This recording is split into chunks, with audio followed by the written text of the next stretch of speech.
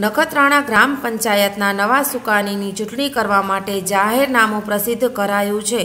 નખત્રાણાના સરપંચ જિજ્ઞાબેન સોનીએ રાજીનામું આપતા ward number ચારના સદસ્યની ખાલી જગ્યા અને સરપંચની ચૂંટણી માટે સામાન્ય સ્ત્રીની રિઝર્વ સીટ માટે પેટા ચૂંટણી કરાવવામાં આવશે. ચાર એક બે હજાર વીસના ઉમેદવારી પત્રકો રજૂ કરવાની તારીખ છે. ચકાસણી છ જાન્યુઆરી પાછા ખેંચવાની સાત જાન્યુઆરી અને આવશ્યક હોય તો ઓગણીસ જાન્યુઆરીના મતદાન કરાશે અને એકવીસ જાન્યુઆરીના મતગણના કરવામાં આવશે.